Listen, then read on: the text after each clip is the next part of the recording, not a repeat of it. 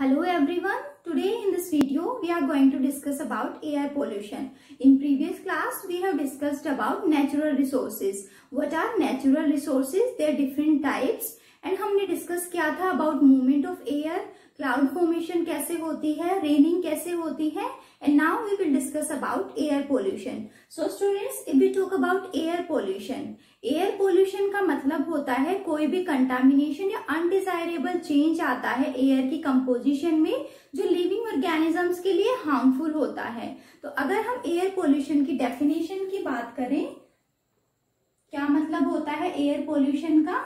It is undesirable change in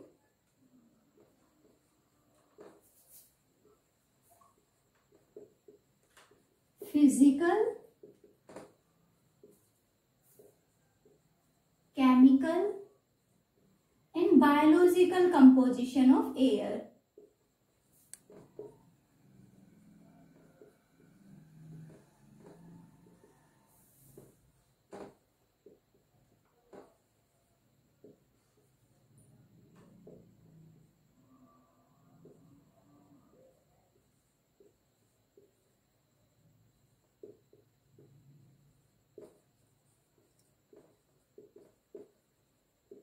So students, if we talk about air pollution, it is any undesirable change in physical, chemical and biological characteristics of air which are harmful for living organisms. And अगर हम air pollution की बात करें जो substances air pollution के लिए responsible होते हैं उनको हम बोलेंगे एयर पोल्यूटेंट्स तो पोल्यूटेंट्स का क्या मतलब है pollutants are those substances which are responsible for pollution air pollutants की अगर हम बात करेंगे एयर पोल्यूटेंट्स क्या है? These are those substances which are responsible for air pollution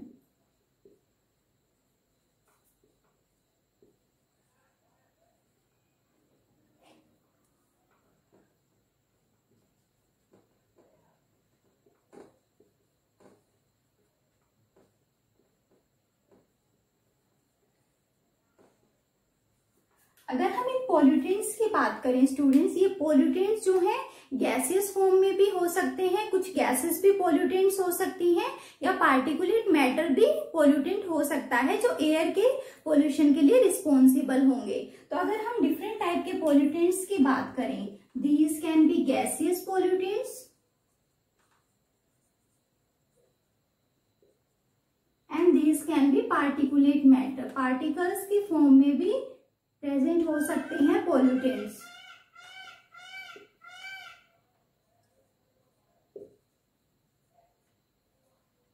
and this particulate matter is also known as suspended particulate matter क्योंकि ये particles suspended रहते हैं कुछ टाइम के लिए एयर में, इसलिए ये पार्टिकल्स भी रिस्पॉन्सिबल होते हैं फॉर एयर पोल्यूशन अगर हम पार्टिकुलेट मैटर की बात करें which are responsible for air pollution इनमें आते हैं हमारे particles,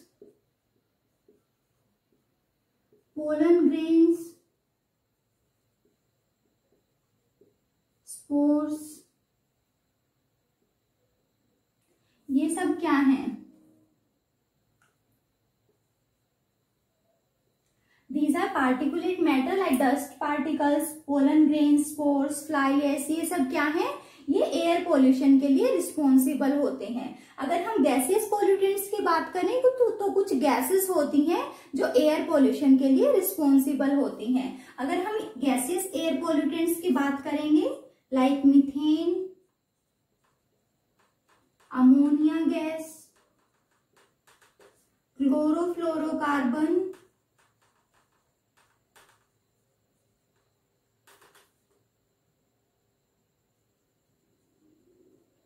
carbon monoxide these are harmful gases which are responsible for air pollution so students air pollution kya hota hai any undesirable change in physical chemical and biological characteristics of air which are which are harmful for living organisms अगर हम air pollutants की बात करेंगे तो air pollutants वो substances होते हैं जो एयर पोल्यूशन के लिए रिस्पॉन्सिबल होते हैं। एयर पोल्यूटेंट्स गैसियस पोल्यूटेंट्स भी हो सकते हैं and this can be particulate matter particulate matter में लाइक like, कुछ पार्टिकल्स होते हैं जैसे dust particles pollen grain spores fly ash ये सब क्या है? These are particulate matter which are responsible for air pollution and if you talk about gases gases like methane ammonia chlorofluorocarbon carbon monoxide ये harmful gases responsible होती हैं for air pollution उसके बाद students अगर हम सोर्सेज की बात करें सोर्सेज जो रिस्पॉन्सिबल होते हैं for air pollution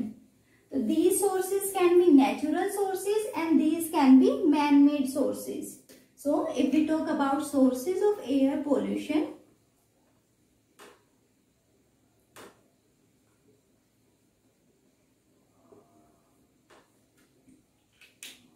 these sources can be natural sources and these can be man-made sources. अगर हम नेचुरल सोर्सेज की बात करेंगे जो रिस्पॉन्सिबल होते हैं फॉर एयर पोल्यूशन इनमें कुछ नेचुरल फिनोमिना आते हैं like volcanic eruption forest fire इनसे क्या होता है? जब ज्वालामुखी फटता है तो हार्मफुल गैसेस निकलती हैं उससे जो एयर पोल्यूशन के लिए रिस्पॉन्सिबल होती हैं। फॉरेस्ट फायर की अगर हम बात करेंगे तो फॉरेस्ट फायर जब होता है तो भी हार्मफुल गैसेस रिलीज़ होती हैं, जिसकी जो रिस्पॉन्सिबल होती हैं फॉर एयर पोल्यूशन अगर हम अदर नेचुरल सोर्सेज की बात करें like pollen grains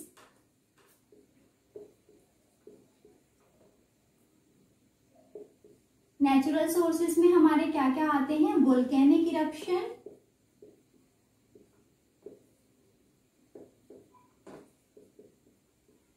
forest fire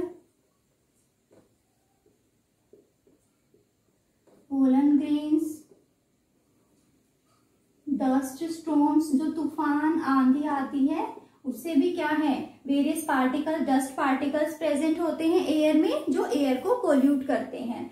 अगर हम मैन मेड सोर्सेज की बात करें तो कुछ ह्यूमन एक्टिविटीज़ होती हैं जो रिस्पॉन्सिबल होती हैं फॉर एयर पोल्यूशन अगर हम मैन मेड सोर्सेज की बात करें लाइक ऑटोमोबाइल जो हम बर्निंग ऑफ़ फोसिल फ्यूल्स है फोसिल फ्यूल्स की से भी हार्मफुल गैसेस रिलीज़ होती हैं, जो एयर को पोल्यूट करती हैं थर्मल पावर प्लांट से भी वेरियस हार्मफुल गैसेस रिलीज़ होती हैं। ये सब क्या है? These are man made sources which are responsible for air pollution तो अगर हम मैन मेड सोर्सेज की बात करेंगे तो बर्निंग ऑफ़ फोसिल फ्यूल्स जैसे कि कोयल पेट्रोल ये सब क्या है? हम ऑटोमोबाइल्स में यूज़ करते हैं व्हीकल्स में यूज़ करते हैं, जो एयर पोल्यूशन के लिए रिस्पॉन्सिबल होते हैं। थर्मल पावर प्लांट से भी हार्मफुल गैसेस रिलीज़ होती हैं।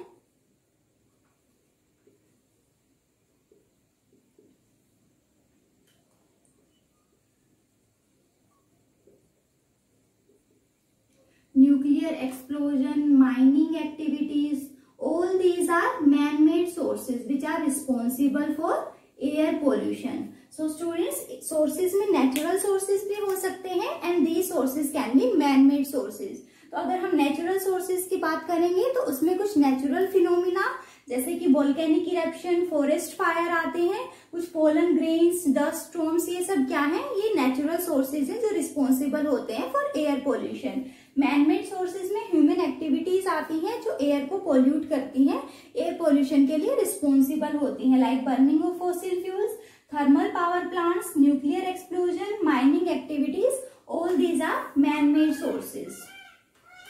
And if we talk about effect, harmful effect of air pollution, क्या हार्मफुल इफेक्ट्स कोज होते हैं एयर पोल्यूशन की वजह से? तो वेरियस डिज़ीज़ रेस्पिरेटरी डिज़ीज़ हो सकती हैं रेस्पिरेटरी प्रॉब्लम्स अराइज हो सकती हैं एयर पोल्यूशन की वजह से। क्लोर कार्बन मोनोऑक्साइड पॉइजनिंग हो सकती है। अगर हम हार्मफुल इफेक्ट्स की बात करें harmful effects of air pollution. So, if we talk about first one, that is respiratory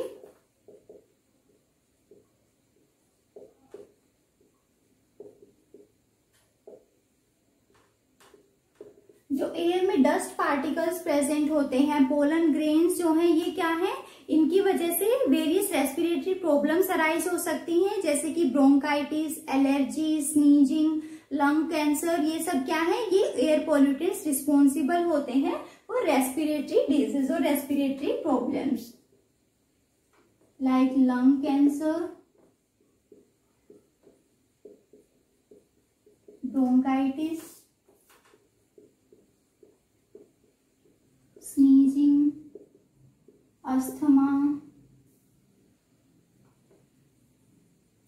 allergy all these are respiratory problems which can occur due to air pollution.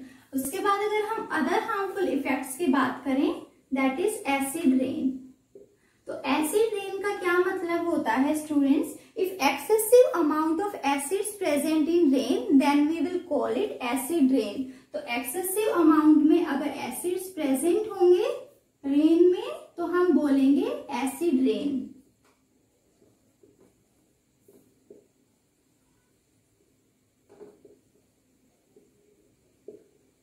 like sulfuric acid. And nitric acid. इन acid की presence की वजह से क्या होता है? Rain का pH decrease हो जाता है।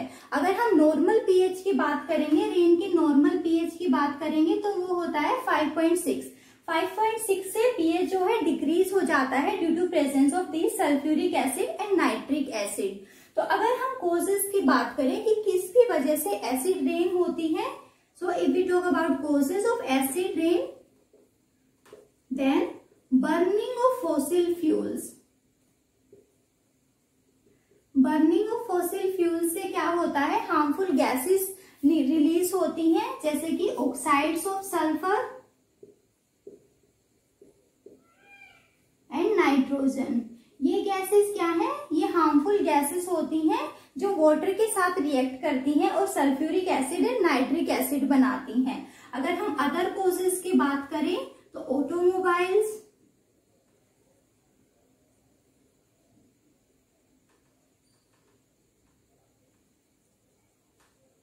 जो हमारे थर्मल पावर प्लांट्स हैं,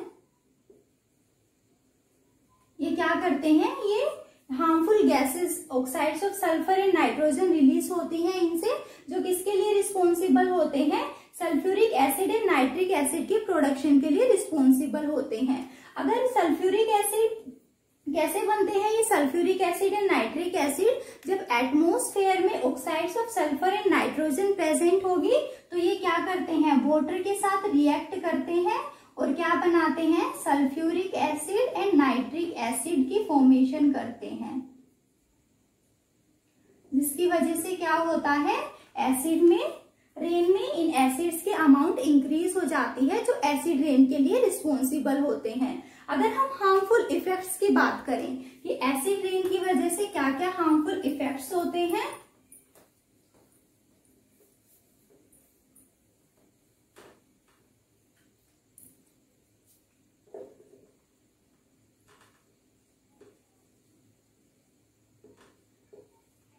स्टूडेंट्स रेन की वजह से सोयल में एसिडिटी इंक्रीज होती है, जिसकी वजह से क्या होगा? प्लांट्स अफेक्टेड होंगे।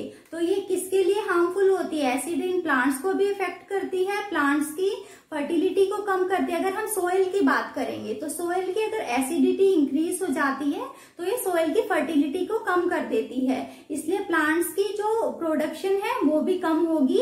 एसिड इन किसको अफेक्ट करती है? प्लांट्स को भी अफेक्ट करती है। एनिमल्स को भी अफेक्ट करती है। एंड अगर हम वाटर की बात करें वाटर में जब एसिड रेन होगी, जब वाटर में एसिड रेन की वजह से क्या होगा? एसिड की अमाउंट इंक्रीज हो जाएगी, जिसकी वजह से क्या होगा? जो एक्वेटिक ऑर्गेनिजम्स है, उनको भी अफेक्ट होगा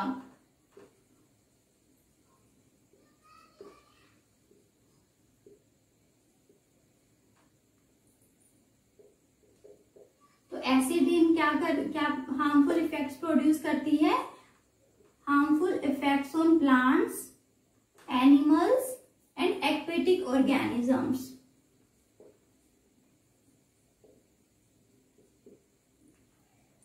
अगर हम अदर हार्मफुल इफेक्ट्स की बात करें तो एसिड रेन की वजह से जो हमारे मार्बल हैं टाइल्स हैं उनकी चमक कम होती जा रही है। अगर हम एग्ज़ाम्पल ले ताजमहल का तो ताजमहल का जो मार्बल है, उसका क्या हो रहा है? एसिड रेन की वजह से उसकी चमक बिल्कुल खत्म हो चुकी है। ये किस लिए? ये क्या है? This is harmful effect of acid rain तो अगर हम अदर हार्मफुल इफेक्ट्स की बात करें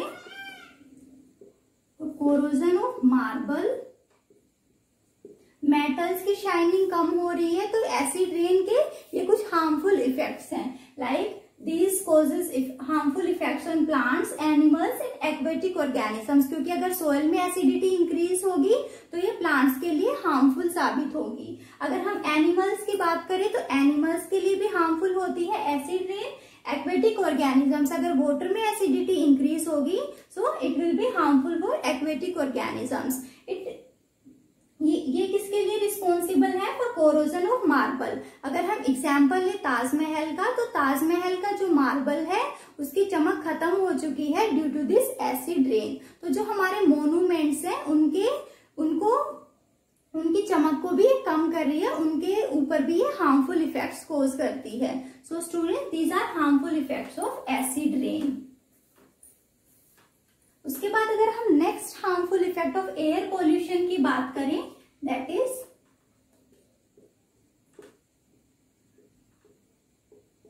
carbon monoxide poisoning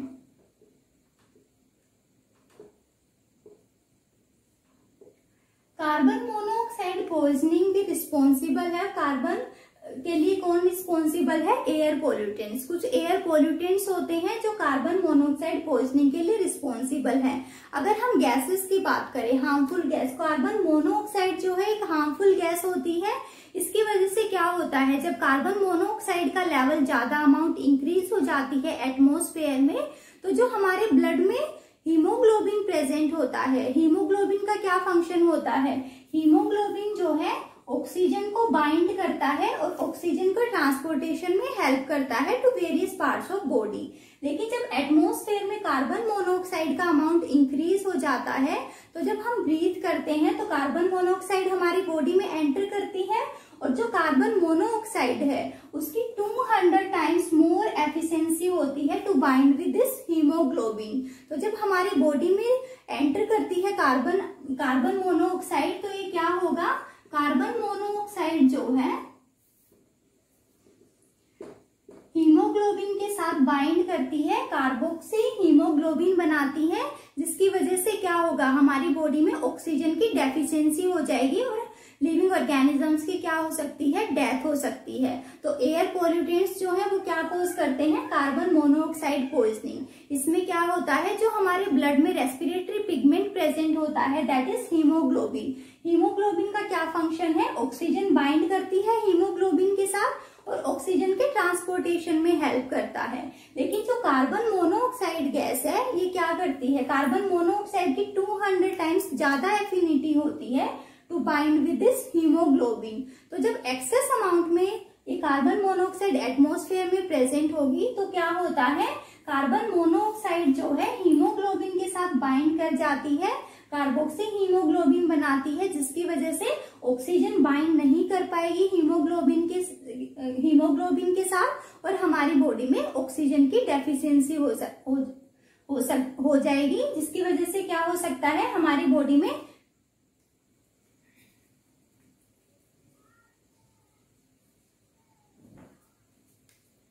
जिसकी वजह से क्या हो सकता है? हमारी बॉडी में ऑक्सीजन की डेफिशिएंसी हो सकती है and this may leads to death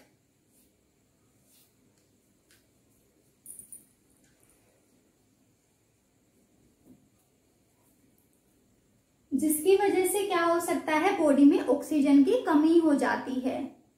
So student this is another harmful effects of carbon monoxide जिसकी वजह से क्या होता है बॉडी में ऑक्सीजन की डेफिशिएंसी हो जाती है। और ऑक्सीजन की डेफिशिएंसी की वजह से डेथ भी हो सकती है ऑर्गेनिज्म की। So student it is another harmful effect of air pollution उसके बाद अगर हम कुछ और हार्मफुल इफेक्ट्स की बात करें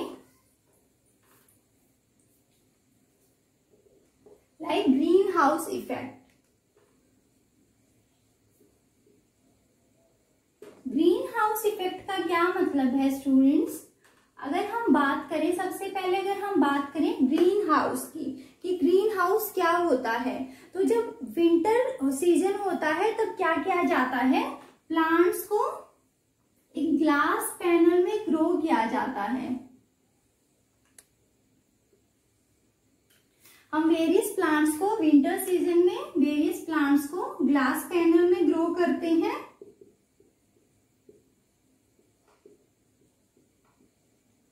इसमें क्या होता है स्टूडेंट्स ग्लास के कवरिंग में हम प्लांट्स को ग्रो करते हैं। तो ये ग्लास कवरिंग क्या करती है, जब हमारे सन से सनलाइट आती है रेडिएशन आती है तो वो एंटर करती है एटमोस्फेयर में ग्लास के थ्रू कहा जाती हैं, ये प्लांट्स तक जाती हैं। प्लांट्स क्या करते हैं, कुछ लाइट को एब्जॉर्ब कर लेते हैं और कुछ लाइट क्या कर जाती है, वापस से रिफ्लेक्ट हो जाती है।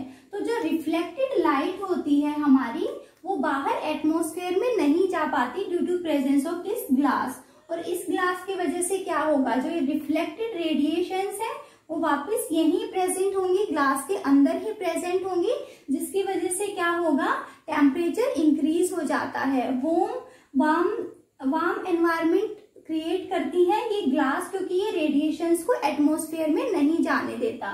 तो इसको हम क्या बोलते हैं? ग्रीन हाउस ग्रीन हाउस एक ग्लास पैनल होता है, जिसमें वेरियस प्लांट्स को ग्रो किया जाता है इन विंटर सीज़न इससे क्या होगा, जब रेडिएशन आती हैं ग्लास के थ्रू एंटर करती हैं प्लांट्स कुछ रेडिएशन को एब्जॉर्ब करते हैं, बाकी की जो रेडिएशन होंगी वो रिफ्लेक्ट हो जाती हैं एनवायरमेंट में। लेकिन इस ग्लास के प्रेजेंस की वजह से क्या होगा, ये वापिस से एनवायरमेंट में नहीं जा पाती, इसी ग्लास पैनल में रह जाती हैं, और जिसकी वजह से टेम्परेचर जो है वो हाई हो जाता है, कुछ टेम्परेचर इंक्रीज हो जाता है, जो इसके इन प्लांट्स की प्रॉपर ग्रोथ के लिए सुटेबल होता है। So this is all about green house अगर हम ग्रीन हाउस इफ़ेक्ट की बात करें स्टूडेंट्स तो क्या होता है? अगर हम अर्थ की बात करें तो अर्थ के ग्रीन हाउस से अगर हम कंपेयर करें तो क्या है? हमारी अर्थ के सराउंडिंग एटमोस्फेयर प्रेजेंट है। अर्थ के चारों तरफ़ क्या है? एटमोस्फेयर एयर प्रेजेंट है। तो इसमें क्या होता है? वेरियस गैसेस प्रेजेंट है हमारे एटमोस्फेयर में। एयर क्या है? मिक्सचर ऑफ़ गैसेस तो अगर हम इन गैसेस की बात करें, क्या होता है? जब सनलाइट आती है तो कुछ रेडिएशन हमारे एटमोस्फेयर में एंटर करती है। इससे क्या होगा? अर्थ का सरफेस कुछ रेडिएशन को एब्जॉर्ब करता है। बाकी रेडिएशन क्या करती हैं? रिफ्लेक्ट कर जाती हैं एटमोस्फेयर में। अर्थ के सरफेस से रिफ्लेक्ट हो जाती हैं। लेकिन जब ये रेडिएशन वापस रिफ्लेक्ट होती हैं एटमोस्फेयर में तो क्या होता है? एटमोस्फेयर में कुछ ग्रीन हाउस गैसेस प्रेजेंट होती हैं। ग्रीन हाउस गैसेस कौन कौन सी होती हैं? अगर हम इन ग्रीन हाउस गैसेस की बात करें like carbon dioxide methane nitrous oxide chlorofluorocarbon ये क्या है? These are green house gases ये गैसेस क्या करती हैं स्टूडेंट्स हमारे एटमोस्फेयर में प्रेजेंट होती हैं, लेकिन जब वापस रेडिएशन रिफ्लेक्ट करती हैं अर्थ के सरफेस से तो क्या होता है? जो ये रेडिएशन ये गैसेस प्रेजेंट है carbon dioxide methane nitrous oxide chlorofluorocarbon ये क्या करती हैं? इन रेडिएशंस को एब्जॉर्ब कर लेते हैं। और कुछ रेडिएशंस को वापस से रिफ्लेक्ट करते हैं एनवायरमेंट में एटमोस्फेयर में। तो जिसकी वजह से क्या होता है, हमारे एटमोस्फेयर को ये रेडिएशन क्रॉस नहीं कर पाती एटमोस्फेयर में ही रह जाती हैं। तो ये गैसेस जो ग्रीन हाउस गैसेस हैं, ये क्या करती हैं रिफ्लेक्टेड रेडिएशंस को एब्जॉर्ब कर लेती हैं, उनको वापस से रिफ्लेक्ट करती हैं एटमोस्फेयर में, जिसकी वजह से क्या होता है, हमारे अर्थ का टेम्परेचर इंक्रीज हो जाता है। अगर ये ग्रीन हाउस गैसेस ना होंगी हमारे एटमोस्फेयर में तो क्या होगा स्टूडेंट्स हमारे अर्थ के एटमोस्फेयर का टेम्परेचर जो हमारा अर्थ है, उसका टेम्परेचर बहुत कम होगा कूल एनवायरमेंट होगा हमारे अर्थ का। लेकिन इन ग्रीन हाउस गैसेस की प्रेजेंस की वजह से क्या होता है? ये सोलर रेडिएशन को ट्रैप कर लेती है, जिसकी वजह से ये टेम्परेचर को इंक्रीज करने में हेल्प करती है। एक सुटेबल टेम्परेचर प्रोवाइड करती हैं लिविंग ऑर्गेनिजम्स को। अगर ये ग्रीन हाउस गैसेस एबसेंट होंगे तो टेम्परेचर बहुत कम होगा अर्थ का, जिसमें हम लिविंग ऑर्गेनिज्म जो है सरवाइव नहीं कर पाएँगे। तो इसको हम क्या बोलते हैं? ग्रीन हाउस इफ़ेक्ट मीन्स जो ग्रीन हाउस गैसेज हैं carbon dioxide, methane, nitrous oxide and chlorofluorocarbon. ये गैसेस क्या करती हैं? सोलर रेडिएशंस को एब्जॉर्ब कर लेती हैं, वापस से एटमॉस्फेयर से रिफ्लेक्ट नहीं होने देती, जिसकी वजह से क्या होता है? अर्थ का टेम्परेचर इंक्रीज करने में हेल्प करती हैं।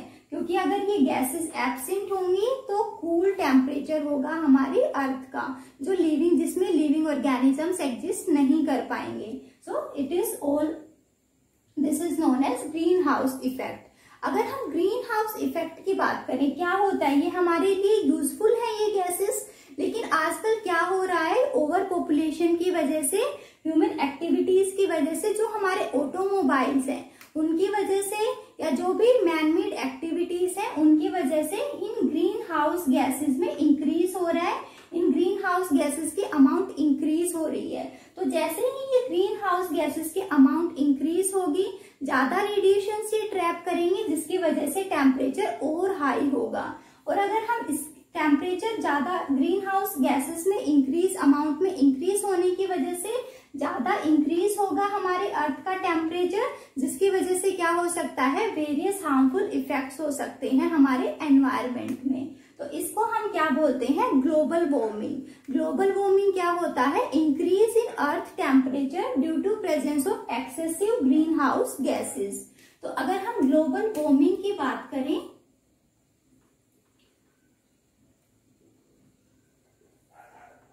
क्या होता है global warming it is rise in temperature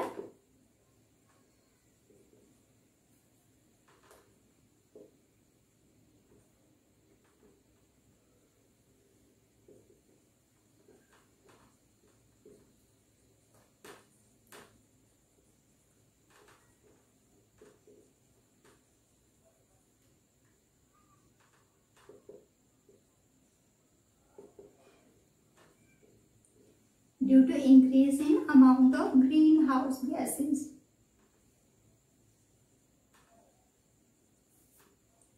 अगर हम इन हार्मफुल इफेक्ट्स की बात करें ग्लोबल वार्मिंग की वजह से क्या हार्मफुल इफेक्ट्स हो सकते हैं हमारे एनवायरमेंट में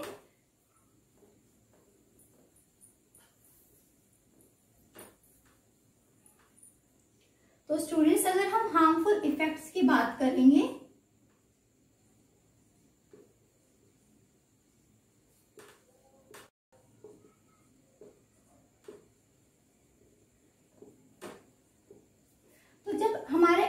टेम्परेचर इंक्रीज होगा उसकी वजह से क्या हो, जो हमारे पोलर रीजन है, जहाँ बर्फ़ प्रेजेंट है ग्लेशियर्स है, वहाँ से क्या हो सकता है, बर्फ़ पिघल सकती है, जिसकी वजह से क्या होगा वाटर लेवल राइज हो जाएगा वाटर लेवल इंक्रीज होगा, जिसकी वजह से काफ़ी हार्मफुल इफेक्ट्स हो सकते हैं। तो अगर हम हार्मफुल इफेक्ट्स की बात करें so this global warming is responsible for melting of ice ice के मेल्ट होने से क्या होगा? वाटर लेवल इंक्रीज होगा, बाढ़ आ सकती है। ये सब नुकसान हो सकते हैं due to this global warming अगर हम अदर हार्मफुल इफेक्ट्स की बात करें तो किसकी टेम्परेचर इंक्रीज होने की वजह से क्या होगा? प्लांट्स एंड एनिमल्स पे भी इफ़ेक्ट आएगा जो हमारे एक्वेटिक ऑर्गेनिज्म है, उन पे भी इफ़ेक्ट प्रोड्यूस होगा। तो ये ग्लोबल वार्मिंग क्या है? It is harmful for living organisms इसकी वजह से क्या हो सकता है? जो हमारे ग्लेशियर्स हैं मेल्टिंग ऑफ़ आइस हो सकता है आइस मेल्ट कर सकती है, जिसकी वजह से फ्लड्स आएँगे। पानी का लेवल इंक्रीज हो जाएगा अर्थ के सरफेस पे, जो हमारे लिए हार्मफुल होगा। ये ग्लोबल वार्मिंग में टेम्परेचर इंक्रीज होने की वजह से प्लांट्स की ग्रोथ इनहिबिट हो सकती है एनिमल्स पे बैड इफ़ेक्ट प्रोड्यूस हो सकते हैं। So student this is all about green house effect उसके बाद अगर हम other harmful effects of air pollution की बात करें उसमें आता है हमारा ओजोन डिप्लीशन।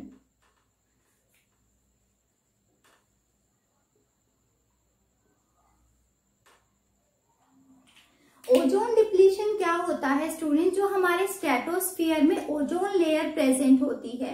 ओजोन लेयर क्या है? सबसे पहले हम बात कर लेते हैं what do you mean by ozone layer.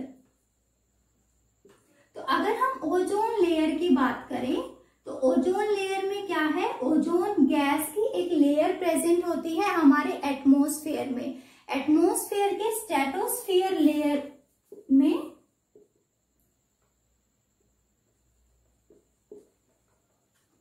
क्या है स्टूडेंट स्टेटोस्फेयर लेयर में हमारी ओजोन लेयर प्रेजेंट है। ये ओजोन लेयर में क्या है? ओजोन गैस जो ओजोन गैस है, वो क्या बनाती है? ओजोन लेयर बनाती है। अगर हम इस ओजोन गैस की बात करें, ये वेरी पॉइजनस गैस होती है, एक पॉइजनस गैस होती है, जो लिविंग ऑर्गेनिजम्स के लिए बहुत हार्मफुल होती है। लेकिन अगर हम बात करें ओजोन लेयर की, ये हमारे लिए हार्मफुल क्यों नहीं होती? क्योंकि ये में काफ़ी हाई लेवल पे प्रेजेंट होती है हायर लेयर में प्रेजेंट होती है स्टेटोस्फियर में प्रेजेंट होती है। अगर हम ट्रोपोस्फियर की बात करेंगे तो ट्रोपोस्फियर में बहुत कम अमाउंट में ओजोन गैस प्रेजेंट होती है। इसलिए ये हमारे लिए ज़्यादा हार्मफुल नहीं होती। तो ये ओजोन गैस क्या होती है? अगर हम ओजोन गैस की बात करेंगे तो ओजोन गैस क्या बनाती है? हमारी ओजोन लेयर बनाती है, जो हार्मफुल अल्ट्रावोलेट रेडिएशन होती हैं। अल्ट्रावोलेट रेडिएशन की वजह से क्या होता है? ये अल्ट्रावोलेट रेडिएशन ऑक्सीजन को स्प्लिट कर देती हैं मोनो एटम्स में।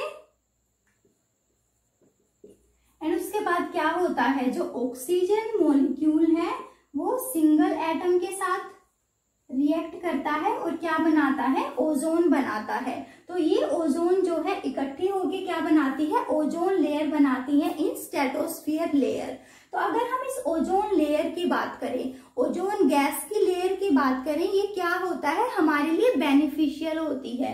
क्योंकि जब अल्ट्रावायलेट रेडिएशन अगर हम सन की बात करें सन से क्या होता है? जब अल्ट्रावायलेट रेडिएशन आती हैं तो कुछ अल्ट्रावायलेट रेडिएशन तो ओजोन लेयर से पास हो जाती है एटमोस्फेयर में, लेकिन बाकी की अल्ट्रावायलेट रेडिएशन क्या करती हैं? ओजोन लेयर से रिफ्लेक्ट हो जाती हैं।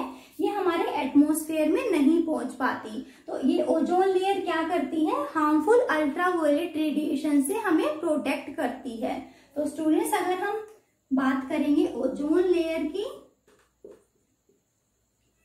तो क्या करती है ये? It protects us from harmful ultraviolet radiations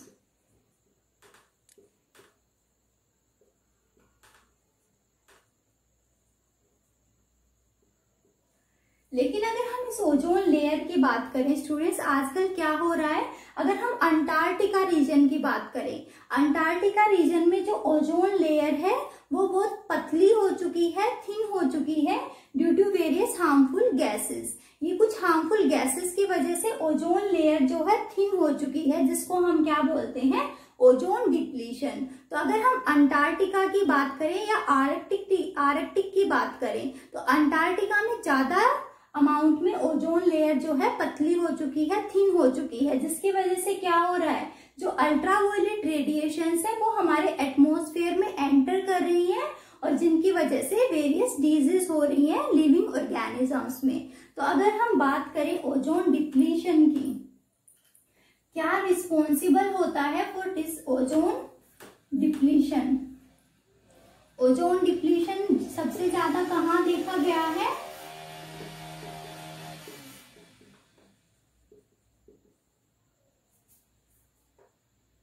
Antarctica reason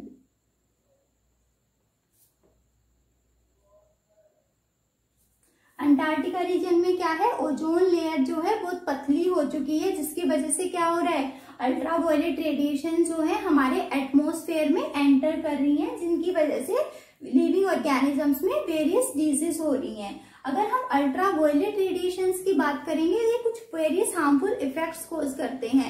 like skin cancer हमारी आईज को इफ़ेक्ट करते हैं तो बैड इफेक्ट्स प्रोड्यूस करती हैं अल्ट्रा वायलेट रेडिएशन तो अगर हम ओजोन डिप्लीशन के कोज की बात करें कि किसकी वजह से? क्या रीजन है जिनकी वजह से ओजोन लेयर जो है थिन होती जा रही है? अगर हम कोजेस की बात करेंगे तो जो क्लोरोफ्लोरोकार्बन गैस है ये क्लोरोफ्लोरोकार्बन गैस हमारे एनवायरमेंट एटमोस्फेयर में प्रोड्यूस हो रही है। वेरियस मैन एक्टिविटीज़ की वजह से क्या है? क्लोरोफ्लोरोकार्बन की अमाउंट हमारे एटमोस्फेयर में इंक्रीज हो रही है। अगर हम इन वेरियस एक्टिविटीज़ की बात करें लाइक एसी रेफ्रिजरेटर्स जो हम यूज़ करते हैं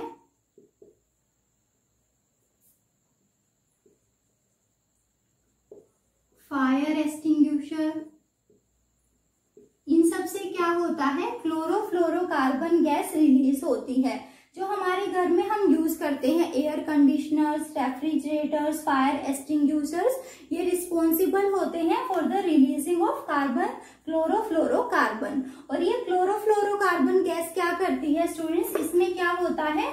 क्लोरीन क्लोरोफ्लोरोकार्बन गैस में क्लोरीन प्रेजेंट होता है और ये क्लोरीन क्या करता है? ये क्लोरीन जो है ओजोन लेयर में ओजोन गैस के साथ रिएक्ट करता है और इसको किसमें स्प्लिट करता है? ऑक्सीजन में कन्वर्ट कर देता है। जिसकी वजह से क्या हो रहा है? हमारी जो ओजोन लेयर है, वो थिन होती जा रही है। तो अगर हम इन क्लोरोफ्लोरोकार्बन गैस का प्रोडक्शन कम नहीं करेंगे तो इसकी वजह से क्या होगा? हमारी ओजोन लेयर डिप्लीट हो जाएगी ओजोन लेयर डिप्लीशन ज़्यादा इंक्रीज होगा। तो स्टूडेंट्स अगर हम कोजेस की बात करें तो कोजेस क्या है? Harmful gas that is chlorofluorocarbon जो रिस्पॉन्सिबल है फॉर दिस ओजोन डिप्लीशन और ये क्लोरोफ्लोरोकार्बन कैसे रिलीज़ होती है? किसकी वजह से ज़्यादा अमाउंट में इंक्रीज हो रही है हमारे एटमोस्फेयर में? Due to extra use of air conditioners refrigerators fire extinguishers ये सब क्या रिलीज़ करते हैं? क्लोरोफ्लोरोकार्बन रिलीज़ करते हैं। जिसमें क्या प्रेजेंट होता है? क्लोरीन प्रेजेंट होता है। और ये क्लोरीन ओजोन के साथ रिएक्ट करता है। और ओजोन को ऑक्सीजन में कन्वर्ट कर देता है। So this chlorofluorocarbon is responsible for this ozone depletion अगर हम हार्मफुल इफेक्ट्स की बात करें ओजोन डिप्लीशन से क्या हार्मफुल इफेक्ट्स होते हैं? तो इससे क्या होगा? ओजोन लेयर के थिन होने की वजह से अल्ट्रावायलेट रेडिएशन हमारे एटमोस्फेयर में एंटर करेंगे, जिसकी वजह से वेरियस डिज़ीज़ हो सकती हैं, जैसे कि स्किन कैंसर हो सकता है, हमारी आईज पे इफ़ेक्ट प्रोड्यूस कर सकती हैं। ये हार्मफुल रेडिएशन होती हैं प्लांट्स एंड एनिमल्स को various harmful bad effects produce करती हैं प्लांट्स एंड एनिमल्स पे। So student this is all about ozone depletion